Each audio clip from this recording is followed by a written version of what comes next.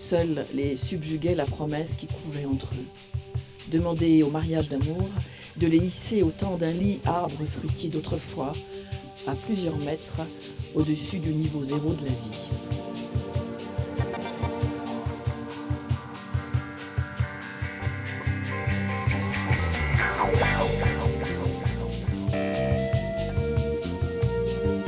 Et puis, se demande-t-elle, qu'est-ce que le courage, ici et maintenant, à Caleb Qu'est-ce que ce mot signifie pour cette femme qu'elle vient de croiser et pour cet enfant qu'elle voit jouer? Elle regarde les habitants de Caleb. Ils vaquent à leurs occupations, se battent avec leurs soucis, luttent contre les peurs, composent avec la mort. Cela prend diverses formes. Certains collaborent, d'autres se taisent, quelques-uns résistent. Enfin, tous survivent. Encore un matin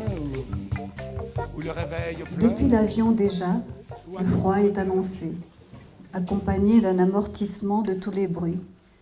Et ce n'est rien à côté du silence glacial qu'il attend dehors. Le monde qu'il rencontre en sortant du bimoteur est impossible à imaginer à l'avance. Aucun effort d'anticipation ne pouvait les préparer. Les jours suivants, il apprendra que cette impression d'étrangeté ne se dissipera pas. C'est la constante du lieu.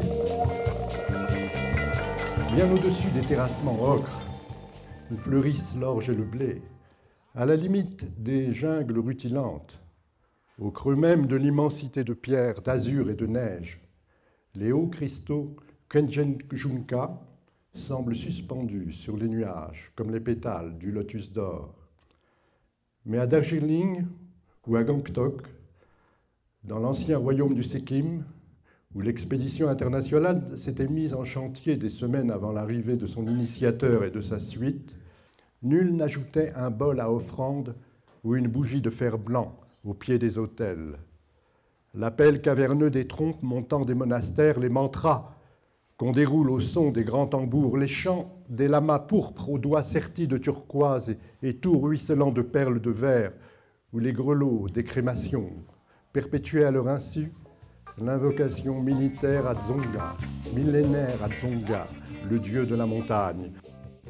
Le paysage joue son rôle là pleinement. C'est lui le personnage principal, hmm. l'acteur principal, c'est le paysage. C'est le paysage. Alors, et là, il est, il est très présent. Et les mots viennent très écho. L'espoir fait tenir la fatigue rend ivre de travail. Je me suis toujours dit, en regardant euh, la géographie, que la Terre est trop petite pour être un lieu d'exil. C'est très beau. Il n'empêche, l'humain est une, la créature est l'être des lointains. Nous sommes l'être des lointains. Partage des lointains, c'est simplement le partage de l'humain. Ce, nomadisme-là, qui, qui, est un nomadisme géographique, mais qui finit par devenir un nomadisme de l'imaginaire. J'habite l'air parce que, d'abord, je suis toujours l'ailleurs de quelqu'un d'autre, je me trouve toujours en un lieu qui est l'ailleurs, l'horizon, le lointain d'un autre. J'en ressors euh, très ému. Le fait de rencontrer en fait des écrivains et puis bah, d'échanger, ça me paraît c'est essentiel, enfin c'est très important en tout cas. On a un très bel aperçu justement de, de tout ce qui est à découvrir.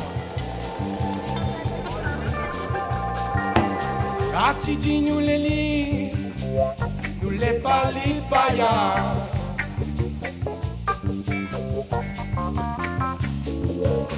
Atiti nous lili, nous les pali paya.